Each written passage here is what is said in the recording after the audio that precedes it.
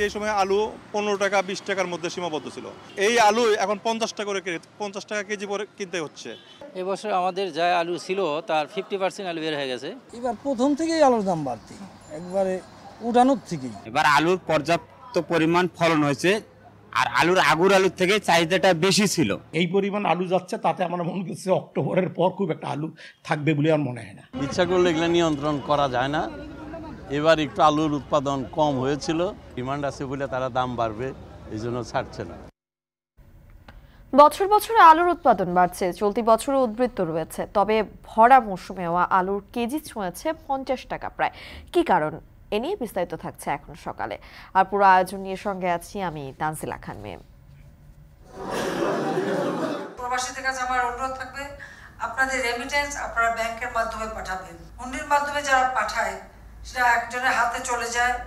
সঞ্চয় বলে কিছু থাকে না। বাংলাদেশের এই অগ্রযাত্রা যেন অব্যাহত রাখতে পারি।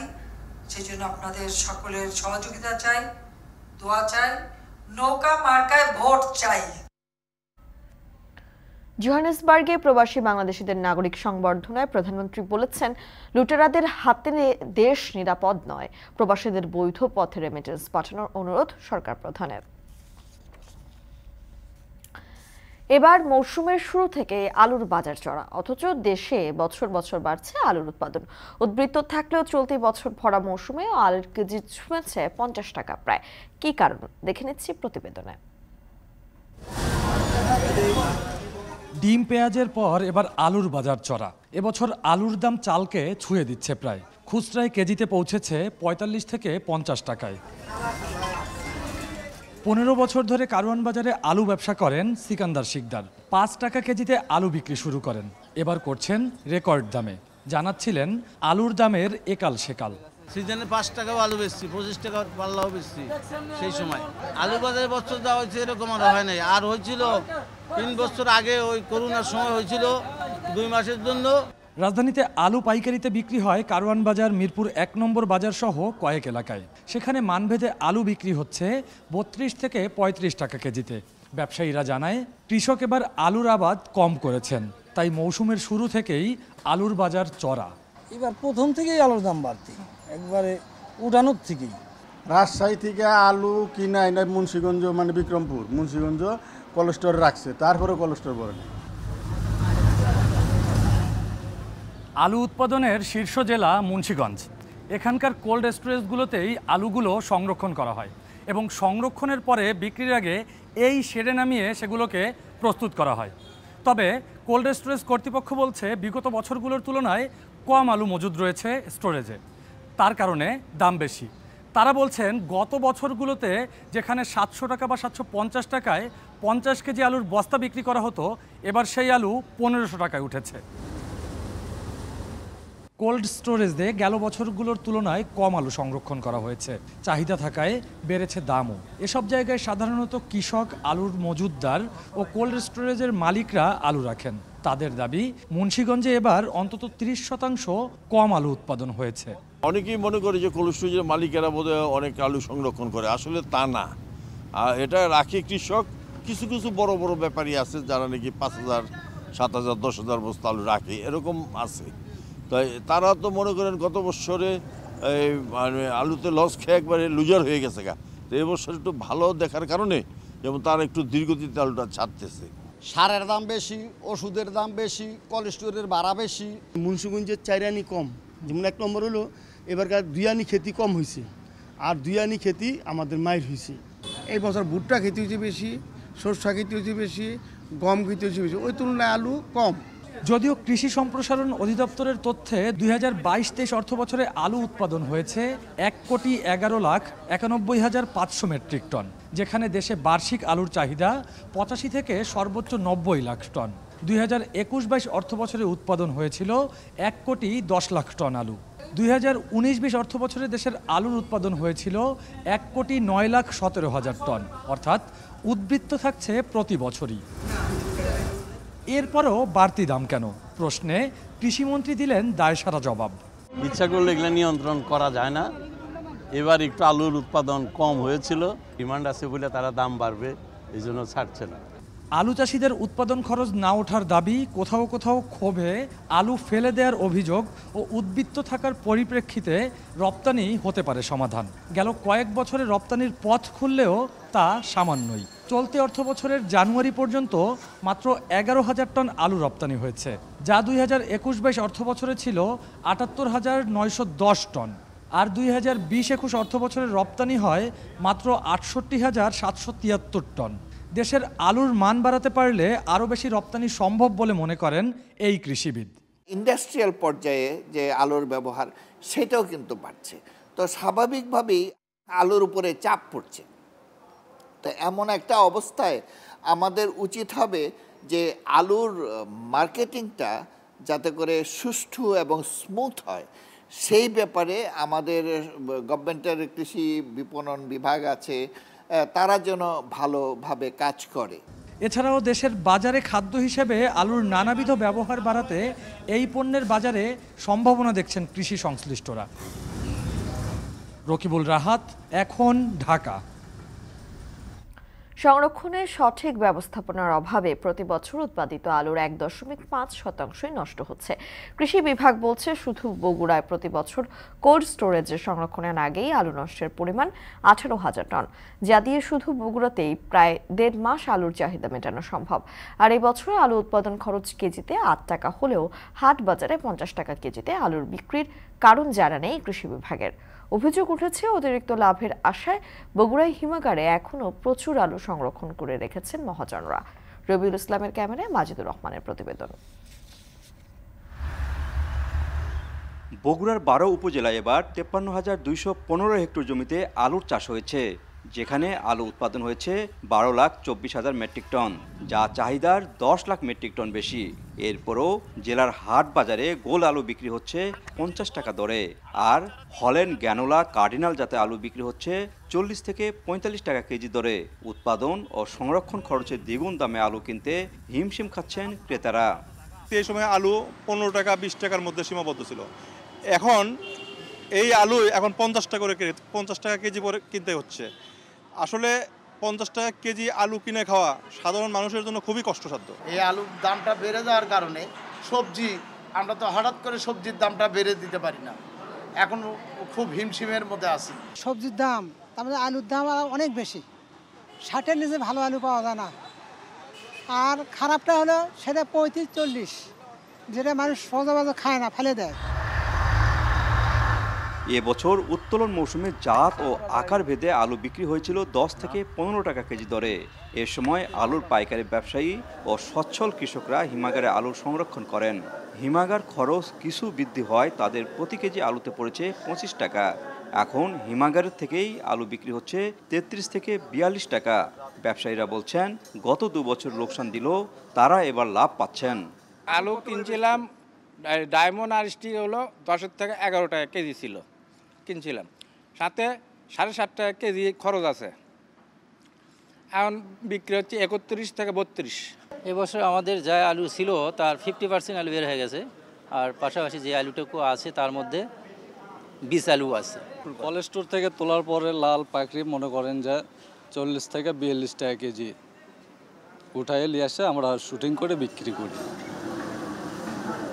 ক্ষুদ্র ব্যবসায়ীরা বলছেন স্টোরেজে সংরক্ষণ করা বড় ব্যবসায়ীরা আলু ছাড়ছেন না। তাই বুধবার থেকে কোল্ড স্টোরেজে আলুর পাইকারি দাম কেজিতে এক থেকে দুই টাকা বাড়ানো হয়েছে। এর প্রভাব দু একদিন পরে পড়তে পারে। স্টোর থেকে যে আলুটা বের করা হয় এটাকে বলা হয় কাঁচা। এই কাঁচা আলুর এটা হলো দাম। আর যখন সেটে পড়ে তখন খরচা দিয়ে এই আলুটা এক টাকা বেশি দামে আর কি আমরা গাড়ি লোড করি। পাইকারি পঞ্চাশ আর হলেন বেচা হচ্ছে চল্লিশ। এটা আপনার চুয়াল্লিশ পঁয়তাল্লিশ কেনা পরে আমাদের খরচ আছে। ওটা আপনার পঁয়ত্রিশ ছত্রিশ কেনা পরে। ওটা চল্লিশ বিক্রি করা হয়। পঁয়তাল্লিশ টাকা কেজি কিনা। আমরা বিক্রি করতে হচ্ছে পঞ্চাশ টাকা কেজি।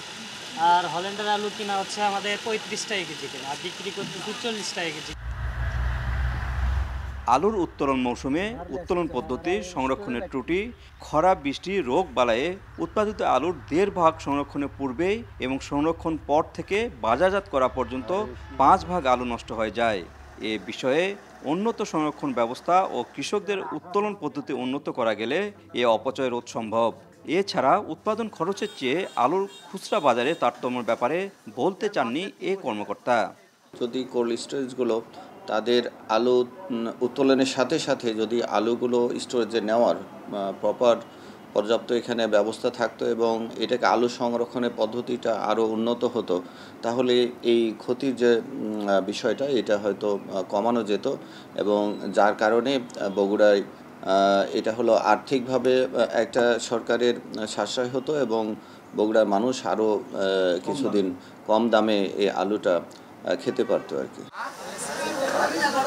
কৃষি বিভাগের তথ্য মতে দেশে আলুর চাহিদা নব্বই লাখ মেট্রিক টন, যেখানে এক কোটি এগারো লাখ চব্বিশ হাজার সাতশো মেট্রিক টন আলু উৎপাদিত হয়েছে। সংরক্ষণ ত্রুটির কারণে আলু নষ্ট হয়েছে প্রায় দেড় লাখ টন। মাজিদুর রহমান, এখন বগুড়া।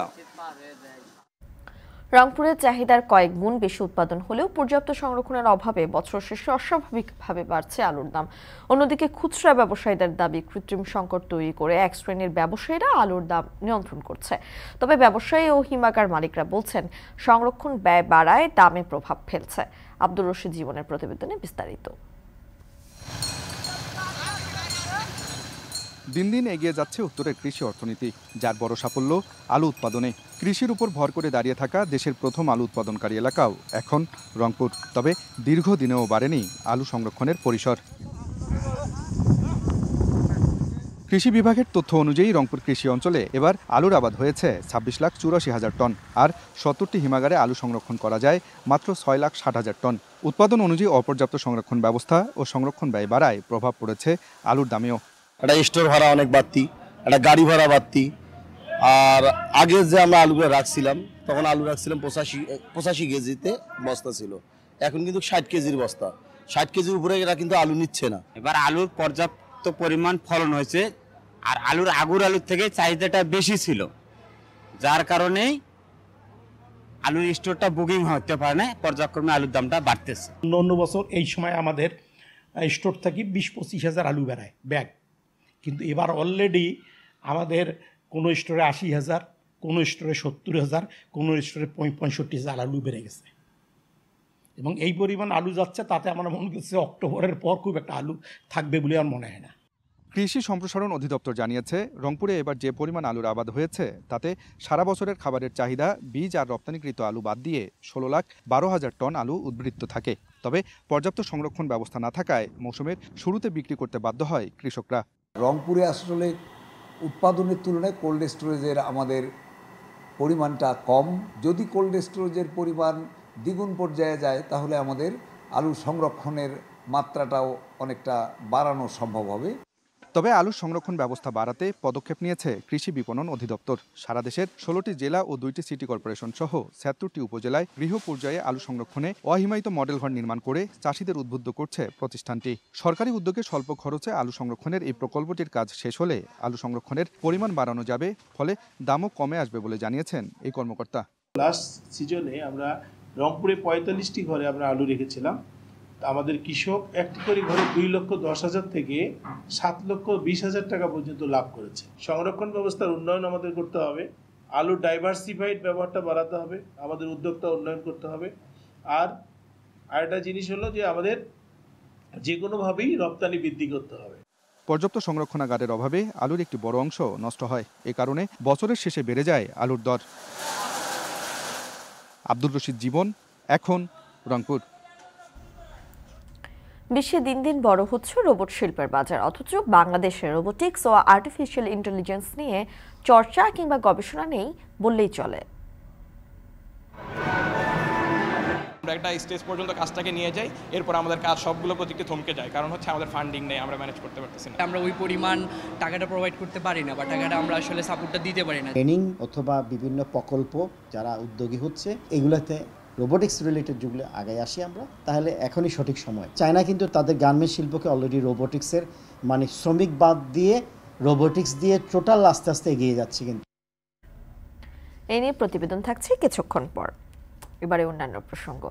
লুটেরাদের হাতে দেশ নিরাপদ নয়, উল্লেখ করে আসছে নির্বাচনেও প্রবাসীদের কাছে ভোট চাইলেন প্রধানমন্ত্রী শেখ হাসিনা। জোহানিসবার্গ সময় বৃহস্পতিবার সন্ধ্যায় প্রবাসী বাংলাদেশিদের নাগরিক সংবর্ধনায় যোগ দেন সরকার প্রধান। বলেন, নির্বাচনকে কেন্দ্র করে বিএনপি আবার জ্বালাও পোড়াও শুরু করলে জনগণ ছাড় দেবে না। এই অনুষ্ঠান থেকে প্রবাসীদের বৈধ পথে রেমিটেন্স পাঠানোর অনুরোধ জানান সরকার প্রধান শেখ হাসিনা। জোহানিসবার্গ থেকে আরও জানাচ্ছেন আজহার লিমন, ছবি তুলেছেন শেখ রাশেদ হাসান। প্রধানমন্ত্রীর জোহানেসবার্গ সফরের তৃতীয় দিনে শহরের স্যান্টন এলাকায় কুর্তবা কনভেনশন সেন্টারে নাগরিক সংবর্ধনার আয়োজন করে প্রবাসী আওয়ামী লীগ, যেখানে দক্ষিণ আফ্রিকার বিভিন্ন প্রান্ত থেকে জড়ো হন প্রবাসী বাংলাদেশিরা। ব্রিক্স সম্মেলন সহ দিনভর নানা ব্যস্ততা শেষে সন্ধ্যা নাগাদ নিজ সফরকালীন আবাস রেডিসন ব্লু থেকে ভার্চুয়ালি এই আয়োজনে যোগ দেন সরকার প্রধান। স্লোগান আর করতালিতে তাকে শুভেচ্ছা জানান প্রবাসীরা।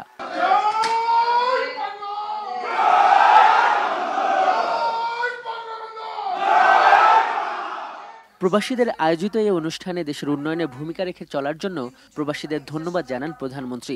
দেশের স্বার্থে বিদেশ থেকে অর্থ পাঠাতে ব্যাংকিং চ্যানেল ব্যবহারের অনুরোধ করেন তিনি। প্রবাসীদের কাছে আমার অনুরোধ থাকবে, আপনাদের রেমিটেন্স আপনারা ব্যাংকের মাধ্যমে পাঠাবেন। এই কারণে পাঠাবেন হুন্ডির মাধ্যমে যারা পাঠায়, সেটা একজনের হাতে চলে যায়, সেই টাকা খরচ হয়ে যায়, নিজের আত্মীয় পরিবার পরিজনই খরচ করে ফেলে, সঞ্চয় বলে কিছু থাকে না। প্রবাসী কল্যাণ ব্যাংক করে দিয়েছি। কেউ যদি বিদেশে যে আসতে চায় তাহলে সে কোথায় চাকরি করবে তার কি বেতন কীভাবে সব কিছু কিন্তু রেকর্ড করা থাকতে পারে। এই অনুষ্ঠানে আওয়ামী লীগ প্রধান নির্বাচনকে সামনে রেখে বিএনপির ভূমিকার সমালোচনা করেন। বলেন আন্দোলনের নামে অগ্নিসন্ত্রাস করলে জনগণ মেনে নেবে না। আবারও সেই আন্দোলনের নামে আগুন দেওয়া পুলিশের গাড়িতে আগুন দেওয়া বাসে আগুন দেওয়া এইগুলি ধ্বংসাত্মক কাজ আবার তারা শুরু করেছে। তবে এবার যদি বেশি বাড়াবাড়ি করে জনগণ তাদের ছেড়ে দেবে না। কারণ সেবারেও আগুন কিন্তু জনগণই প্রতিরোধে তারা বাধ্য হয়েছিল বন্ধ করতে। কারণ জনগণের কাছে তাদের কোনো গ্রহণযোগ্যতাই নাই।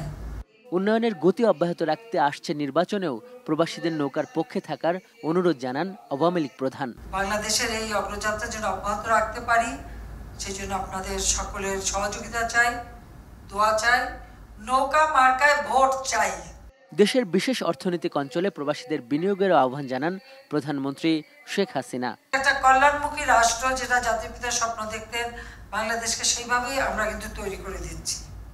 সেখানে আপনাদের যথেষ্ট অবদান রয়েছে। জোহানেসবার্গ থেকে আজহার লিমন এখন দক্ষিণ আফ্রিকা। বিশ্বজুড়ে শিল্প প্রযুক্তি মেডিকেল সহ নানা খাতে অবদান রাখছে সাড়ে তিন মিলিয়ন রোবট যার বৈশ্বিক বাজার এখন পঞ্চাশ বিলিয়ন ডলার গবেষণা বলছে দু হাজার বত্রিশ সালে দুইশো পঁচিশ বিলিয়ন ডলারে দাঁড়াবে রোবট ও আর্টিফিশিয়াল ইন্টেলিজেন্সের বাজার। বাংলাদেশ থেকে এই বিকাশমান বাজার ধরতে অভাব রয়েছে প্রয়োজনীয় গবেষণা আর পর্যাপ্ত অর্থায়নের। রোবটের বাজার নিয়ে বিস্তারিত জানাচ্ছেন ফয়সাল করিম।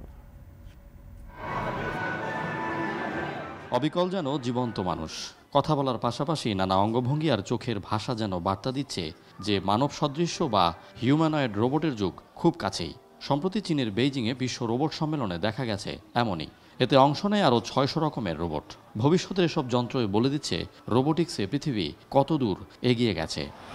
শুনলে হয়তো অবাকই হবেন যে সারা পৃথিবীতে বিভিন্ন শিল্পে এখন কাজ করছে তিন দশমিক পাঁচ মিলিয়ন রোবট।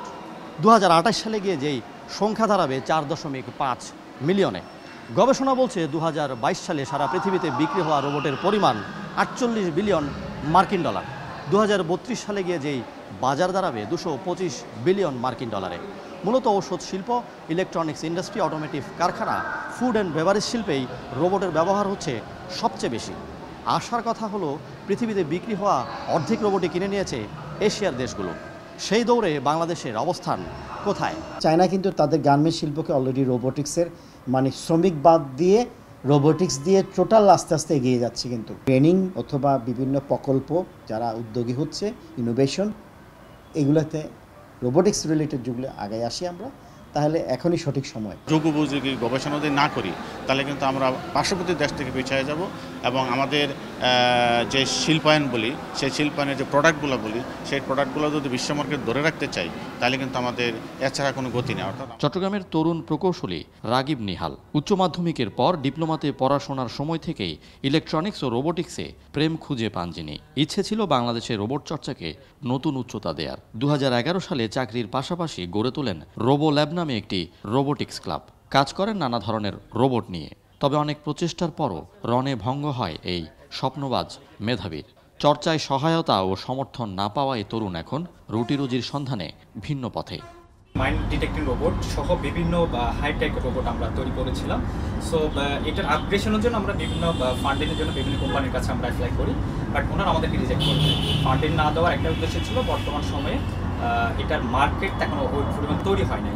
রাগিবদের মতোই তরুণদের নিয়ে সম্প্রতি চট্টগ্রাম প্রকৌশল ও প্রযুক্তি বিশ্ববিদ্যালয়ে বসেছিল জাতীয় পর্যায়ের রোবোটিক্স ও বিজ্ঞান উৎসব। এতে প্রদর্শিত হয় নানা ধরনের রোবট ও উদ্ভাবনী প্রজেক্ট। দেশের আটাশটি বিশ্ববিদ্যালয় ও অর্ধ শতাধিক স্কুল কলেজ থেকে ছুটে আসেন মেধাবী শিক্ষার্থীরা। ফায়ার ডিটেক্ট করবে এবং এটা পাশাপাশি মানে ফায়ারের উপর পানি ছেড়াবে যাতে আগুন নিভে যায়। ওয়াইফাই হ্যাক করার চেষ্টা করছে। ওকে ডি ডিটেক্ট করতে পারবে। প্লাস ও কি কখন কোন সময় হ্যাক করেছে এগুলো বাইর করতে পারবে।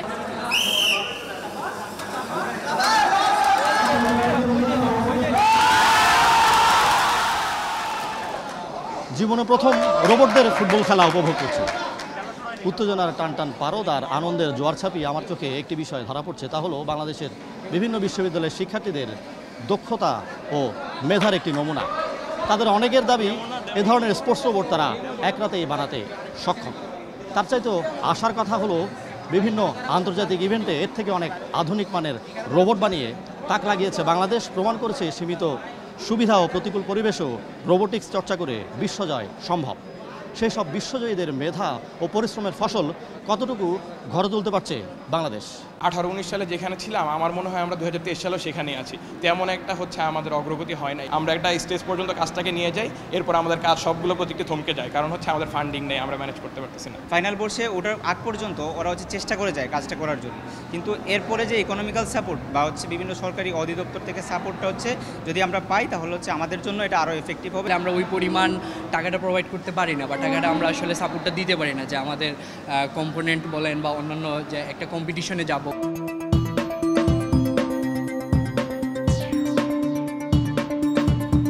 আমাদের মেধাবীদের মুখে যখন হতাশার সুর, তখন রোবোটিক্স গবেষণা ও রোবট ব্যবহারে তাক লাগানো সাফল্য দেখাচ্ছে অনেক দেশ। গবেষণা বলছে এশিয়াতে নেতৃত্ব দিচ্ছে জাপান, কোরিয়া, চীন ও ভারত। দু হাজার বাইশ সালে বিক্রি হওয়া পাঁচ লাখ চুরাশি হাজার রোবটের উনপঞ্চাশ শতাংশই কিনে নিয়েছে এশিয়ার দেশগুলো। এই দৌড়ে ইউরোপ দ্বিতীয় ও আমেরিকা তৃতীয়। বিশেষজ্ঞদের মত, চতুর্থ শিল্প বিপ্লবের চ্যালেঞ্জ উতরে যেতে রোবোটিক্স চর্চায় সমন্বয় ও অর্থায়ন ছাড়া গতি নেই। স্টুডেন্টদেরকে রিসার্চের জন্য এগিয়ে আসতে হবে ওনাদের। তারপরে হয়তো বা একটা সময় আমরা এটা ফ্রুটফুল ভালো কিছু পাবো। কিন্তু ওই লেভেলে যেতে গেলে আমাদেরকে এই এই বিষয়টা গভর্নমেন্ট প্লাস আমাদের যে বেসরকারি যে ইন্ডাস্ট্রিগুলো আছে, তারা যদি এগিয়ে আসে, আপনি যেটা বললেন যে অ্যাপ্লিকেশন লেভেলে আমরা ওই ধরনের পাচ্ছি না, সেটা আমরা তখন পাবো। রোবট নিয়ে সরকারের নানা পরিকল্পনার কথা শোনা গেলেও ঢাকা বিশ্ববিদ্যালয়ে রোবোটিক্স অ্যান্ড মেকাট্রনিক্স ইঞ্জিনিয়ারিং বিভাগ ছাড়া বাংলাদেশের আর কোনো বিশ্ববিদ্যালয়ে এখনও গড়ে তোলা হয়নি রোবট নিয়ে আলাদা কোনো বিভাগ। মূলত বিভিন্ন শিক্ষা প্রতিষ্ঠানে গড়ে ওঠা রোবো ক্লাবগুলোকে ঘিরেই চলে শিক্ষার্থীদের রোবোটিক্স চর্চা। ফাইসাল করিম, এখন চট্টগ্রাম। ডেঙ্গু থেকে সেরে উঠলেও শরীরে দীর্ঘমেয়াদী ছাপ রেখে যাচ্ছে ভয়ঙ্কর এই জ্বর। তাই আক্রান্ত হলে দ্রুত হাসপাতালে ভর্তির পরামর্শ চিকিৎসকদের। প্লাটেলেট যতদিন কম থাকছে, সেই কয়দিন হয়তো আমার রক্ত যাচ্ছে। কিন্তু যখনই রক্তক্ষরণটা ব্রেনে হয়ে যাচ্ছে, তখন তো সেটা একটা পেশেন্টের জন্য খুব খারাপ জিনিস হয়ে যাচ্ছে। এবং সেখান থেকে মানে নর্মাল অবস্থায় আসার জন্য পরবর্তীতে পেশেন্টকে অনেক সংগ্রাম করতে। টেস্ট তো করতে হবে। কিন্তু যদি আমাদের কারও ওয়ার্নিং সাইন থাকে, সে যদি বাসায় বসে না থাকে, তাড়াতাড়ি হাসপাতালে চলে আসে। যত তাড়াতাড়ি আসবে, তত তার তাড়াতাড়ি ব্যবস্থাপনা শুরু হবে এবং তার জটিলতা কম হবে। এ নিয়ে প্রতিবেদন থাকছে পরের অংশে। নরসিংদীর শিবপুরে ট্রাক, মাইক্রোবাসের মুখোমুখি সংঘর্ষে সাতজন নিহত হয়েছে। এই ঘটনায় আহত হয়েছে আরও চারজন। রাত তিনটার দিকে ঢাকা সিলেট মহাসড়কের শিবপুরের ঘাসের দিয়া এলাকায় এই দুর্ঘটনা ঘটে। নিহতদের সবাই মাইক্রোবাসের যাত্রী। পুলিশ জানায়, সাভার থেকে ছেড়ে আসা একটি মাইক্রোবাস সিলেট যাচ্ছিল। মাইক্রোবাসটি শিবপুরের ঘাসের দিয়া এলাকায় পৌঁছলে বিপরীত দিক থেকে আসা একটি ট্রাকের সাথে মুখোমুখি সংঘর্ষ হয়। এতে ঘটনাস্থলে নিহত হয় পাঁচজন। পরে গুরুতর আহত অবস্থায় ছয়জনকে জেলা সদর হাসপাতালে নেওয়া হলে মারা যায় আরও দুইজন। বাকি চারজনের অবস্থা গুরুতর হওয়ায় ঢাকা মেডিকেল কলেজ হাসপাতালে পাঠানো হয়েছে। এই ঘটনায় জব্দ করা হয়েছে ট্রাক, আটক করা হয়েছে চালককে। দ্রুত গতির জন্য এই দুর্ঘটনা ঘটে বলে প্রাথমিকভাবে ধারণা পুলিশের।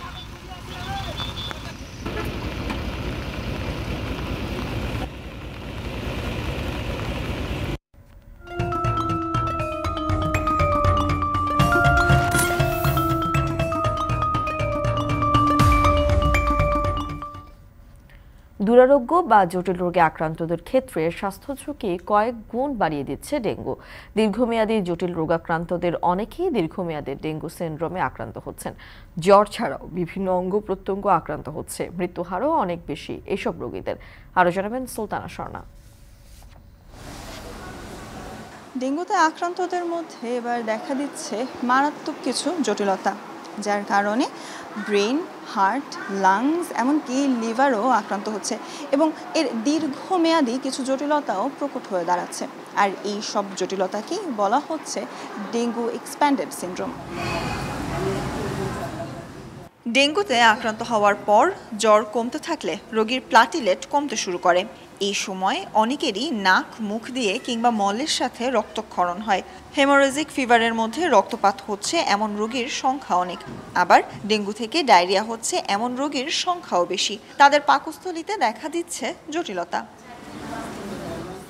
বিশেষজ্ঞদের মতে, ডেঙ্গু থেকে হতে পারে হেপাটাইটিস বা লিভারের প্রদাহ, পেট ফুলে যাওয়া, শরীরে পানি আসা সহ দেখা দিতে পারে বিভিন্ন উপশম। লিভার আক্রান্ত হলে লিভার বড় হয়ে যায় এবং রক্তে কিছু ক্ষতিকর উপাদান এর পরিমাণ বেড়ে যায়। এছাড়া পিত্তথলিতে পাথর না থাকলেও প্রদাহ দেখা যায়। হার্টের পেশি কোষ আক্রান্ত হলে হার্টের বাইরের প্রাচীরে প্রদাহ হতে পারে, জমতে পারে পানি। চিকিৎসার পরে এই যে সমস্যাগুলো ছিল, এটা অনেকাংশেই ভালো হয়ে গেছে। এবং তারপরে পেশেন্ট যখন ফলো আপে আসছে, আমরা যে কয়েকটা পেশেন্ট ফলো আপে পেয়েছি, সম্পূর্ণ এটা পেশেন্ট সুস্থ হয়ে গেছে এবং এই পানিগুলো সম্পূর্ণ নির্মূল হয়ে গেছে। তার মানে আর তার বুকে, পেটে কোনো পানি নাই। তবে লিভারের যে অ্যানজাইমগুলো বেড়ে গেছিল, সেগুলো নামতে একটু সময় লাগছে। শক সিন্ড্রোমে আক্রান্ত রোগীদের মধ্যে ফুসফুস, কিডনি, লিভার ফেইলিয়ারও হতে পারে। সবচেয়ে ঝুঁকি মস্তিষ্ক আক্রান্ত হলে। এর ফলে এনকেফালাইটিসের সংখ্যা বাড়ে। মাথা ব্যথা, বমি, খিচুনি, মস্তিষ্কে রক্তক্ষরণ কিংবা রক্তনালী আটকে যাবার ঝুঁকিও অনেক। এই রোগীদের মৃত্যু ঝুঁকি সবচেয়ে বেশি। প্লাটিলেট যতদিন কম থাকছে, সেই কয়দিন হয়তো আমার রক্ত যাচ্ছে। কিন্তু যখনই রক্তক্ষরণটা ব্রেনে হয়ে যাচ্ছে, তখন তো সেটা একটা পেশেন্টের জন্য খুব খারাপ জিনিস হয়ে যাচ্ছে। এবং সেখান থেকে মানে নর্মাল অবস্থায় আসার জন্য পরবর্তীতে পেশেন্টকে অনেক সংগ্রাম করতে তো সুতরাং ওই তিন চার দিন যদি ক্রিটিক্যাল কেয়ার এর আন্ডারে কেউ থাকে ডক্টরের পরামর্শ অনুযায়ী থাকে সঠিক সময়ে হসপিটালে আসে তাহলে এটা পেশেন্টের জন্য কোনো সমস্যা হাসপাতাল ঘুরে দেখা যায় শিশু বা বৃদ্ধদের মধ্যে কিডনি রোগে আক্রান্ত diabetes high pressure heart liver সহ বিভিন্ন জটিল রোগে আক্রান্তদের সংখ্যাই বেশি। হঠাৎ ব্যথা ওঠে। তো ব্যথাটাতে উঠে তখন আমার নিঃশ্বাসটা টানতে কষ্ট। আমি স্বাভাবিক তো নিয়মিতই প্রেশারের বড়িটাই নিয়মিত খাই। লিভারে পানি আসছিল পেটের এই নাভির চারিপাশে।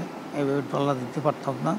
এক কাত হয়ে শুই তখন মনে হয় যে সব একসাথে এক পাশে চলে আসে তখন ব্যথাটা লাগে। পরে আবার একটু শরীরে চাপ পড়লে তখনও ব্যথাটা লাগে। এবছর ডেঙ্গুতে মৃত্যু অন্য যে কোনো বছরের তুলনায় বেশি। কারণ হিসেবে বলা হচ্ছে, শক সিন্ড্রোমে আক্রান্ত রোগীরা হাসপাতালে ভর্তি হচ্ছেন দেরি করে। তাই জ্বর হলেই নিতে হবে চিকিৎসকের পরামর্শ। এতে মৃত্যুর পাশাপাশি দীর্ঘমেয়াদী ক্ষতি থেকে রোগীদের রক্ষা করা সম্ভব, বলছেন চিকিৎসকরা। টেস্ট তো করতে হবে। কিন্তু যদি আমাদের কারও ওয়ার্নিং সাইন থাকে, সে যদি বাসায় বসে না থাকে, তাড়াতাড়ি হাসপাতালে চলে আসে। যত তাড়াতাড়ি আসবে, তত তার তাড়াতাড়ি ব্যবস্থাপনা শুরু হবে এবং তার জটিলতা কম হবে। সুস্থ হবার পরও এক্সপ্যান্ডেড ডেঙ্গু সিন্ড্রোমে আক্রান্তদের এবং শকের রোগীদের চিকিৎসকরা দীর্ঘমেয়াদী ফলো আপে রাখছেন। ডেঙ্গু নিয়ে আরও গবেষণার তাগিদ চিকিৎসকদের। সুলতানা স্বর্ণা এখন ঢাকা। নওগাঁয় বাণিজ্যিকভাবে চাষ হচ্ছে মরু গোলাপ বা অ্যাডনিয়াম। বনসাই আকৃতির এই গাছটি রসালো প্রকৃতির। খরা সহিষ্ণু, কম পরিশ্রম ও অল্প পানিতে বেঁচে থাকতে পারে। এ কারণে শৌখিন ক্রেতাদের পছন্দের তালিকায় ফুলটি। অনেকেই এখন অ্যাডনিয়াম চাষকে পেশা হিসেবে নিয়েছেন। বাণিজ্যিক সম্ভাবনা বাড়ছে, সৌন্দর্য ভরা প্রজাতির এই ফুলটির। নওগাঁ প্রতিনিধি আব্বাস আলীর পাঠানোর প্রতিবেদন।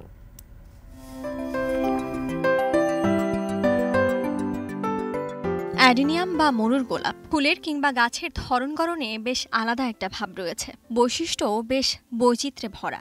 এই গাছ প্রাকৃতিকভাবেই বনসাই আকৃতির, যা পঞ্চাশ সেন্টিমিটার থেকে দুই মিটার উচ্চতার হয়। রসালো প্রকৃতির এই গাছে খুব বেশি পানির প্রয়োজন হয় না, তাই উষ্ণ পরিবেশে টিকে থাকতে পারে। বারান্দা, বাড়ির আঙিনা ও ছাদ বাগান সাজাতে তাই পছন্দের তালিকায় এটি। নগার মান্দা উপজেলার বুড়িদহ গ্রামের সুলতান মাহমুদ জাহিদের হাত ধরে শুরু হয় অ্যাডিনিয়ামের চাষ। তিন বছর আগে দশ হাজার টাকায় তিনশো পিস বীজ সংগ্রহ করেন তিনি, যা থেকে খরচ বাদে প্রথম মৌসুমে লাভ আসে বিশ হাজার টাকা। এরপরই বাণিজ্যিকভাবে চাষ শুরু করেন তিনি। দ্বিতীয় প্রজেক্টে আমি এটাকে ইনভেস্টের পরিমাণটা আমি বাড়িয়ে দিই। এরপর আমি লক্ষাধিক টাকার উপরে ইনভেস্ট করে ফেলি এখানে আমি। এবং এটা, আলহামদুলিল্লাহ, এই পর্যন্ত আমার প্রজেক্টের শেষ সময়টা চলে আসছে। আমার গাছগুলো এখন সেলের জন্য রেডি হয়ে গেছে। তো এবার আমি আশা করতেছি যে আমার কাছে এখন যতগুলো গাছ আছে, এগুলো যদি আমি সম্পূর্ণ সেল দিয়ে দিই, মোটামুটি পাঁচ থেকে সাড়ে পাঁচ লাখ টাকা সেল হবে। কিন্তু বর্তমানে তার নার্সারিতে প্রায় আড়াই হাজার চারা ও মাদার গাছ রয়েছে। যার বাজার মূল্য প্রায় পাঁচ লাখ টাকা। জাহিদের দাবি বীজ থেকে চারা তৈরি করলে জাতের বৈশিষ্ট্য হুবহু ঠিক থাকে না বলে গ্রাফটিং বা কলম করা হয়। বীজের চারার দাম ত্রিশ থেকে একশো পঞ্চাশ টাকা আর গ্রাফটিং করা চারা তিনশো থেকে পাঁচশো টাকায় বিক্রি হয়। ক্রেতারা সরাসরি এবং অনলাইনের মাধ্যমে কিনতে পারেন চারা। এটা কোনো ছাত্র বা শিক্ষার্থী যদি চেষ্টা করে বা এটা করে তাহলে আমি মনে করি লাভবানই হবে। আমি মরুভূমির গোলাপ কখনো দেখি নাই এখানে এসে দেখছি। এবং এটার পরিচর্যা খুব বেশি করতে হয় না তবে ব্যবসাটা খুব লাভজনক। আর সুন্দর লাগে অনেক সুন্দর লাগে ফুল যখন ফুটে। জেলায় বাড়ছে চাষির সংখ্যা।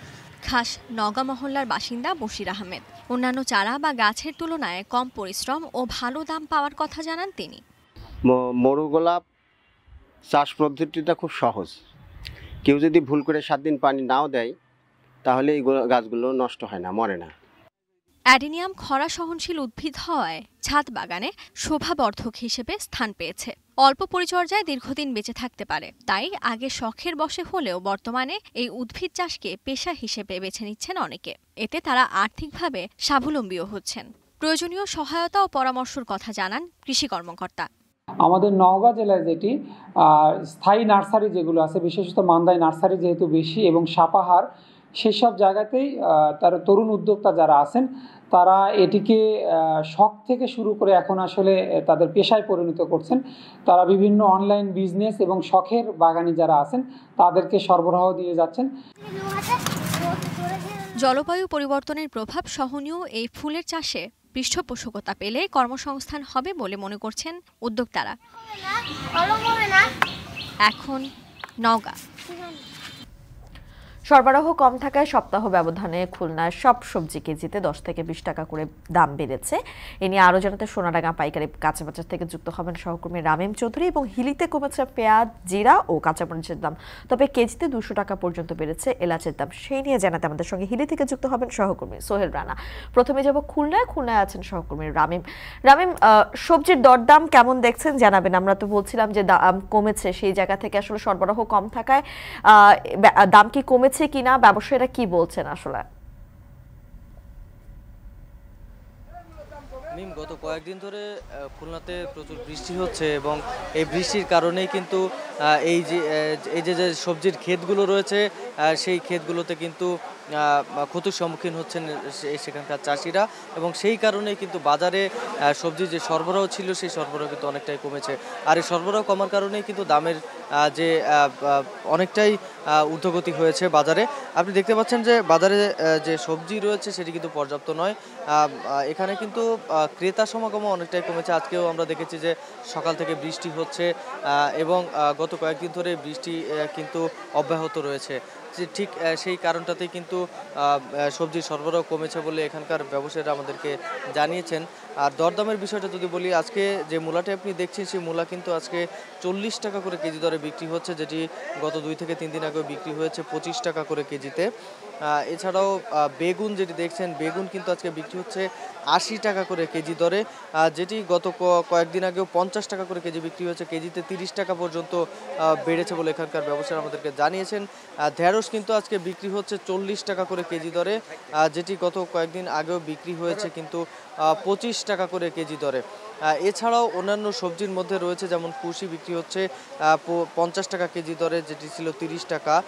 লাউ কিন্তু আজকে বিক্রি হচ্ছে চল্লিশ টাকা করে পার পিস যেটি কিন্তু গত কয়েকদিন আগেও পঁচিশ থেকে তিরিশ টাকা করে প্রতি পিস বিক্রি হয়েছে।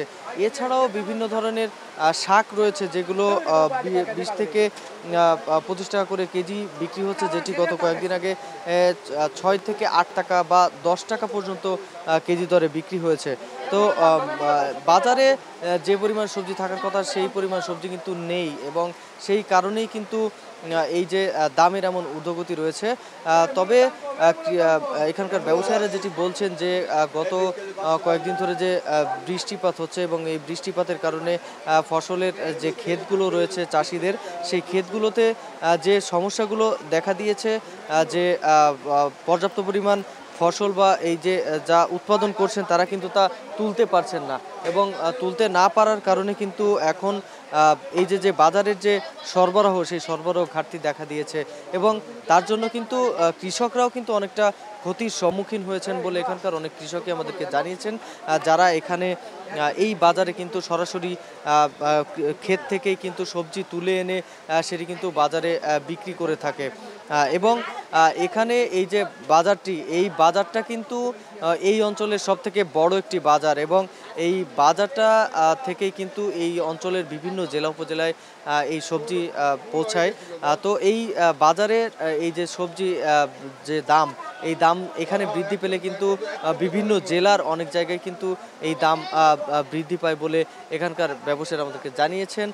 তো বৃষ্টির পরিমাণ যদি একটু কমে তাহলে কিন্তু এই সবজির যে যে দাম দর সেটি কিন্তু অনেকটাই কমতে পারে এবং সরবরাহ স্বাভাবিক হবে বলে এখানকার ব্যবসায়ীরা জানিয়েছেন। তো মিম, এই ছিল আমার কাছে খুলনা থেকে সবজি বাজারের সর্বশেষ তথ্য। এবারে যাব সহকর্মী সোহেল রানার কাছে, তিনি আছেন হিলিতে। সোহেল, পেঁয়াজ, জিরা আর কাঁচামরিচের দাম কেজিতে কত টাকা কমেছে জানাবেন? আর হঠাৎ করে এই যে এলাচ, বলছিলাম যে দুশো টাকা পর্যন্ত বাড়তি দামে বিক্রি হচ্ছে, এতটা বাড়তি দামে বিক্রি হওয়ার কারণটা আসলে কি? মিম আমি আপনাকে একটু জানিয়ে রাখি যে হিলিতে কিন্তু প্রায় জিরা, পেঁয়াজ এবং কাঁচামরিচ ভারত থেকে আমদানি হয়ে থাকে হিলি স্থলবন্দর দিয়ে এবং সেই কাঁচামরিচ, জিরা এবং পেঁয়াজগুলো কিন্তু স্থানীয় যে বাজার রয়েছে সেখানে সরবরাহ করা হয়। তবে আপনাকে একটু জানিয়ে রাখি যে অস্থির পেঁয়াজের বাজার রয়েছিল চল্লিশ শতাংশ শুল্ক আরোপের পর সেটি কিন্তু কমতে শুরু করেছে। আমরা দেখেছি কারণ পঞ্চাশ টাকা কেজি দরে যে পেঁয়াজগুলো বিক্রি হয়েছিল সেটি মান ভেদে এখন খুচরা বাজারে চল্লিশ টাকা থেকে পঁয়তাল্লিশ টাকা কেজি দরে বিক্রি হচ্ছে। এছাড়া কাঁচামরিচও কিন্তু ভারত থেকে আমদানি হবার কারণেই কিন্তু বন্দরে আমরা দেখেছি গতকাল একশো টাকা কেজি দরে পাইকারিতে বিক্রি হয়েছে এবং সেই কাঁচামরিচগুলো খুচরা বাজারে একশো চল্লিশ থেকে একশো তিরিশ টাকা কেজি দরে বিক্রি হচ্ছে। আসলে সেই কাঁচামরিচ কিন্তু কয়েকদিন আগেও আমরা খুচরা বাজারে দেখেছি একশো ষাট থেকে একশো সত্তর টাকা কেজি দরে বিক্রি করা।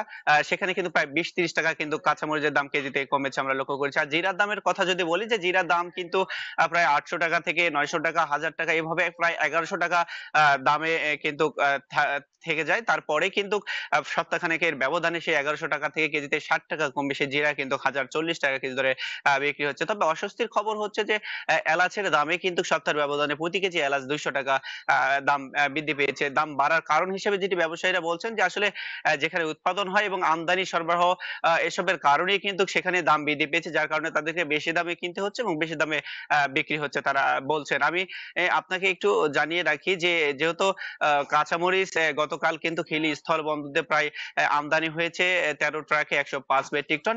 আর পেঁয়াজ আমদানি হয়েছে প্রায় আঠাশ ট্রাকে সাতশো পঁচপান্ন মেট্রিক টনের মতন। অর্থাৎ আমদানিগুলো কম হবার পরেও কিন্তু ক্রেতা সংকটের কারণে কিন্তু এই পণ্যগুলোর দাম অনেকটাই কমে গেছে, ব্যবসায়ীরা বলছেন। তো সব মিলিয়ে বলা চলে মিম যে সরবরাহ কমবার কারণেই কিন্তু কি যে পণ্যগুলোর দাম অর্থাৎ এলাচের দামটি বৃদ্ধি পেয়েছে আর অন্যান্য যে পণ্যগুলো রয়েছে সেগুলোর দাম স্বাভাবিক হয়েছে। তো মিম, এই ছিল আমার কাছে আমার কাছে হিলি থেকে কাঁচা বাজার থেকে সর্বশেষ পরিস্থিতি। কাঁচা বাজারের খোঁজ খবর খুলনা থেকে জানাচ্ছিলেন সহকর্মী রামিম হাসান এবং হিলি থেকে জানাতে যুক্ত হয়েছিলেন সহকর্মী সোহেল রানা। এদিকে সম্প্রতি ভারত সরকার পেঁয়াজ রপ্তানিতে চল্লিশ শতাংশ শুল্ক আরোপ করায় ধর্মঘটের হুমকি দিয়েছে দেশটির সবচেয়ে বেশি পেঁয়াজ উৎপাদন স্থল মহারাষ্ট্রের নাসিকের ব্যবসায়ী সংগঠন। তারা বলছে, এই সিদ্ধান্তে পেঁয়াজ সরবরাহ বাধাগ্রস্ত হচ্ছে আর এতেই ভারত জুড়ে দাম বাড়তে শুরু করেছে পেঁয়াজের। পশ্চিমবঙ্গে এরই মধ্যে পঁচিশ রুপির পেঁয়াজ বিক্রি হচ্ছে পঁয়ত্রিশ থেকে চল্লিশ রুপিতে। পশ্চিমবঙ্গ থেকে সহকর্মী কমল দত্তের প্রতিবেদনে বিস্তারিত। বেশ কিছুদিন ধরে ভারতে অতিবৃষ্টি ও বন্যার প্রভাবে ব্যাপকভাবে ক্ষতিগ্রস্ত হয়েছে মহারাষ্ট্রের পেঁয়াজ উৎপাদন। তাই বাজার স্বাভাবিক রাখতে ভারতের কেন্দ্র সরকার রপ্তানির উপর চল্লিশ শতাংশ শুল্কারোপ করে সম্প্রতি। তবে এই সিদ্ধান্ত মেনে নিতে পারছেন না ভারতের সবচেয়ে বেশি পেঁয়াজের উৎপাদন অঞ্চল, মহারাষ্ট্রের নাসিকের ব্যবসায়ী সংগঠনগুলো। শুল্কারোপের প্রতিবাদে উল্টো ধর্মঘটের হুমকি দিয়েছে নাসিকের ব্যবসায়ীরা। আর এতেই তাদের অভ্যন্তরীণ বাজারেই পেঁয়াজের দামে প্রভাব পড়তে শুরু করেছে। বৈরী আবহাওয়ার মাঝেই মহারাষ্ট্রের নাসিকের এমন সিদ্ধান্তে বিভিন্ন রাজ্যে এরই মধ্যে কেজি প্রতি বেড়েছে দশ রুপি পর্যন্ত। পশ্চিমবঙ্গে যেখানে প্রতিদিন দশ ট্রাক পেঁয়াজ আসত, সেখানে এখন আসছে মাত্র দুটি ট্রাক। পশ্চিমবঙ্গের চাষিরা জানান, নাসিক থেকে পেঁয়াজ বোঝাই ট্রাক কম আসায় এরই মধ্যে পঁচিশ রুপির পেঁয়াজ বিক্রি হচ্ছে পঁয়ত্রিশ থেকে চল্লিশ রুপিতে। তাদের আশা, দুর্গাপূজার পর বাজারে দেশি পেঁয়াজ আসলেই দাম স্বাভাবিক হবে। এখন লোকাল পেঁয়াজ যেগুলো আছে, লোকাল পেঁয়াজ তো অল্প থাকে চাষি ঘরে, সেসব মালগুলো একটু দাম বাড়াতে এখন পেঁয়াজ সব চাষি বেচা বন্ধ করে দিয়েছে। যার জন্য লোকাল পেঁয়াজটা আমদানি হচ্ছে না, এখন যা আমদানি হচ্ছে সব বাইরের পেঁয়াজ, নাসিক পেঁয়াজ পেঁয়াজের যেটা আমরা শুনতে পাচ্ছি কারণ আমরা অতটা ডিটেলস জানি না যেটা হচ্ছে ভারতবর্ষে যাতে দাম না বাড়ে সেই জন্য সরকার নানা রকমভাবে চেষ্টা করছে এবং সেটা করতে পারলে আমরা আমজনতা কিছুটা রেহাই পাবো। এদিকে সাধারণ মানুষকে স্বস্তি দিতে ভারতের রাজধানীতে পঁচিশ রুপি কেজি দরে পেঁয়াজ বিক্রি করছে দিল্লির সরকার। তবে ভর্তুকি মূল্যে বিক্রি বা রপ্তানিতে শুল্কারোপেও পেঁয়াজের বাজার কতটা নিয়ন্ত্রণ হবে সে ব্যাপারে সন্দিহান ব্যবসায়ীরা। চাষিরা ধর্মঘট করছে যে ফর্টি পার্সেন্ট ট্যাক্স ইয়ে নিচ্ছে সরকার নিচ্ছে সে ফর্টি পার্সেন্ট ট্যাক্স যদি আমাদেরকে যুগায় তাহলে আমাদের প্রফিটটা বেশি হবে। এই জন্য চাষিরা হঠাৎ ধর্মঘট করে দিয়েছে। পশ্চিমবঙ্গ রাজ্যে একশো কেজি বা এক কুইন্টাল পেঁয়াজের গড় দাম আড়াই হাজার থেকে দুই হাজার নয়শো বাষট্টি রুপি। যে দাম বেড়ে এখন দাঁড়িয়েছে তিন হাজার তিনশো পঞ্চাশ রুপি কুইন্টালে। আর ভারত সরকারের অতিরিক্ত শুল্কারোপ ও অভ্যন্তরীণ বাজারের বাড়তি দামের প্রভাবে বিপাকে পড়ছেন বাংলাদেশিরাও। এখন কলকাতা।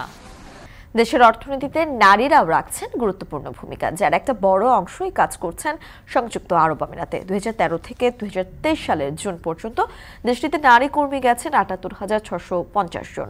তবে অনেকেই হচ্ছেন প্রতারণার শিকার। তাই বিদেশে পাড়ি জমানোর আগে কাজের ক্ষেত্র যাচাই বাছাই করার পরামর্শ ভুক্তভোগীদের। বিস্তারিত জানাবেন কামরুল হাসান, জনে।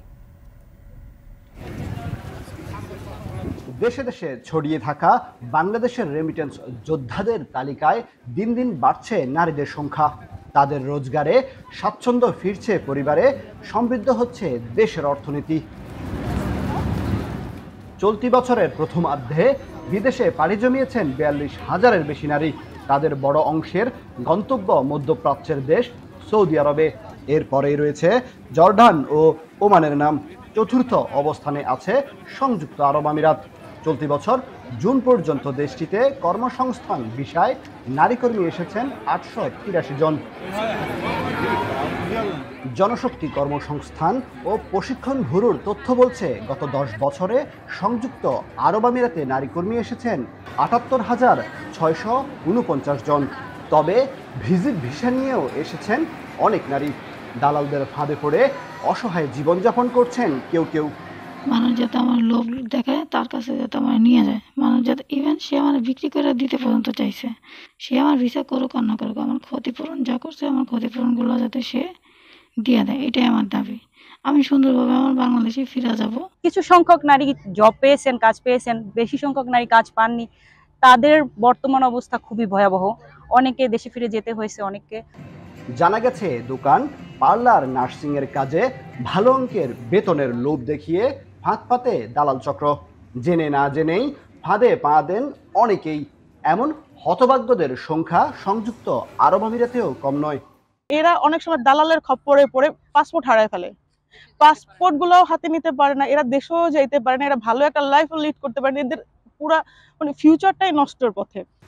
দেশটিতে পা রাখতেই শিকার হন কঠিন বাস্তবতার।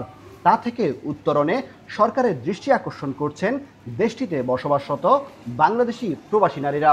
পাশাপাশি বিদেশ যাওয়ার আগে কাজের বিষয়ে আরও যাচাই বাছাইয়ের তাগিদ দিচ্ছেন তারা। কোন এজেন্সির মাধ্যমে যাচ্ছে এবং যেই সেক্টরটাকে, সেক্টরে সে জব করবে, কোন সেক্টরটাতে সে জব করবে, সেটা খুব বিশেষ করে যাচাই বাছাই করাটা অনেক বেশি ইম্পর্টেন্ট তাদের জন্য।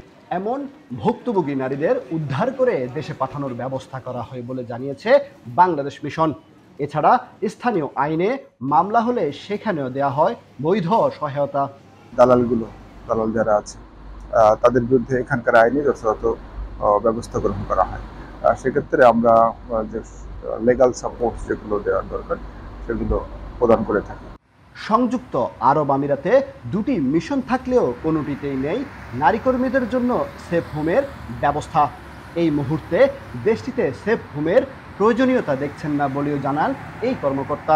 তারা যদি দেশে চলে যেতে চায়, আমরা উইদিন ভেরি শর্ট টাইম এক দুদিনের মধ্যেই বাংলা তাদের সমস্ত ব্যবস্থা করে সেক্ষেত্রে এখানে বেশি দিন থাকার বা দীর্ঘ সময় থাকার কোনো প্রয়োজনীয়তা নেই। এই কারণে সেফ হোমের বিষয়টি এখন আমরা ভাবছি না। দূতাবাস বলছে শুধু বিদেশের মিশনেই নয়, কোনো ভুক্তভোগী দেশে ফিরে গিয়ে ডিসি ও এসপির বরাবর আইনি সহায়তা চেয়ে আবেদন করতে পারবেন। সেক্ষেত্রে দেশের ঠিকানা ও পাসপোর্টের তথ্য উল্লেখ করে আগেই মিশনকে একটি লিখিত অভিযোগ করতে হবে। এই অভিযোগপত্র নিয়ে নিজ থানায়ও মামলা দায়ের করতে পারবেন ভুক্তভোগীরা। কামরুল হাসান, জনি এখন সংযুক্ত আরব আমিরাত। শেষ করছি এখন সকাল। এখন টেলিভিশন ফেসবুকে দেখতে ভিজিট করুন Facebook dot com slash TV dot Ekhon. এছাড়াও ইউটিউবে এখন টেলিভিশন লাইভ দেখতে ভিজিট করুন YouTube dot com slash C slash Ekhon TV